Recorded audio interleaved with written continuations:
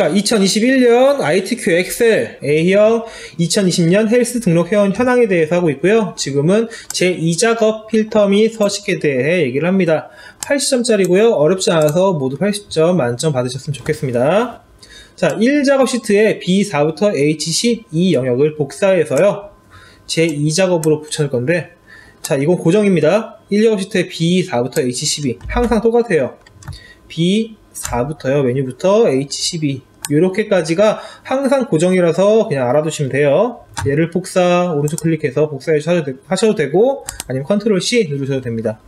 자 복사했으면요 이 작업에요 B2부터 집어넣을 거예요. 여기 써 있어요. B2 셀부터 모두 붙여넣기 하래요. 어떻게 붙여넣기 하래? 따로 안 나와 그냥 모두 붙여넣으래요. 그러면 붙여넣기에 첫 번째 거 그냥 하시면 돼요. 어 선생님 이거 샵샵샵 뭐예요? 어떻게 해야 돼요? 이거 왜 그러냐면 좁아서 그래요.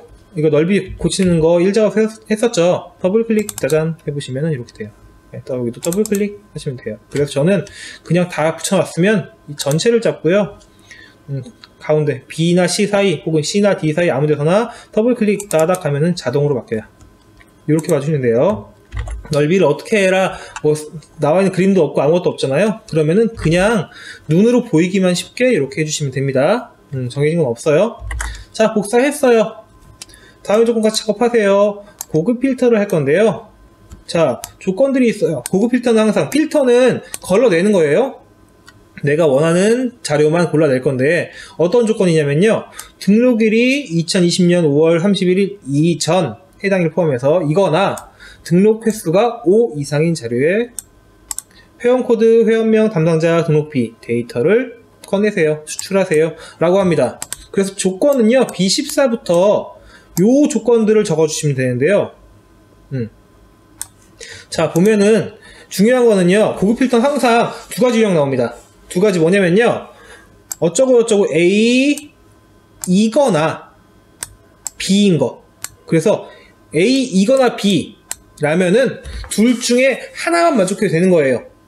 둘 다 만족하지 않아도 둘 중에 하나만 만족해도 얘는 참이에요. 그렇기 때문에 뭐뭐 이거나 나오면 둘 중에 하나 만족해도 됩니다. 다른 유형으로는요. 뭐뭐 이면서 뭐뭐 A이면서 B 이런 애들은요. A와 B 둘 다 만족해야 돼요. 그러니까 두 가지가 다릅니다. 자, 어떻게 하냐면 등록일이 2020년 5월 31일. 일단 등록일 조건은 B14부터 가요. 그래서 B14 여기에 조건으로 가 있고요. 여기 등록일 아이고 등록일 이렇게 치면 되거든요. 근데 이렇게 치는 것보다 그러지 마시고 여기 위에 등록일 있잖아요. 이거 복사 컨트롤 C 컨트롤 V 하시면 돼요. 음, 복사 붙여넣기 등록일 그냥 복사하셔도 돼요. 어차피 고급 필터는 내용만 보기 때문에 형식 상관없습니다. 등록일이 어떻게 하라고? 2020년 5월 31일 이전. 이전이라는 건 숫자가 큰 거예요? 작은 거예요? 이전. 예를 들어 어제.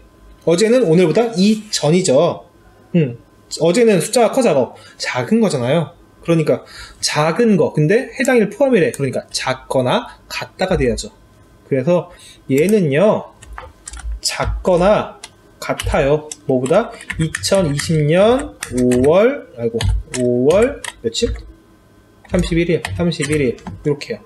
어 이거 큰 다음표 안 해도 돼요? 네 이것도 날짜 숫자 개념이잖아요. 상관없습니다. 이렇게 그리고 두 번째 조건 뭐냐면 등록 횟수가 5 이상 등록 횟수 등록 횟수 여기 있다. 등록 횟수 복사해서 붙여놓을게요. 횟수가 5 이상. 옆에 쓰면 되겠네? 아니에요. 이게 이렇게 같은 줄에 있으면 엑셀은요 한 칸 한 칸 이렇게 한 셀 한 셀 검사를 합니다. 순서대로. 그래서 같은 줄에 있으면 둘 다 만족해야 된다는 거예요. 아까 여기서 말씀드렸죠? 뭐뭐 이거나 라는 건 둘 중에 하나만 만족해도 돼.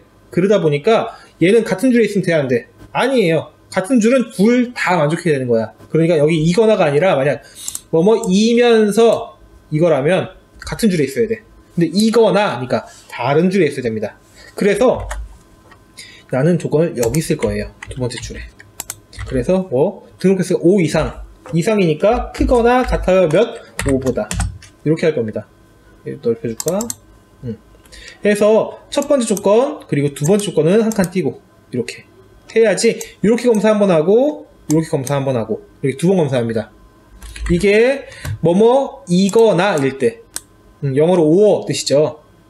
두 번째 다른 게- 다른 형식은 뭐뭐 이면서 예, 음, and죠. 둘다 만족해야 돼. 그래서 같은 줄에 있어야 됩니다.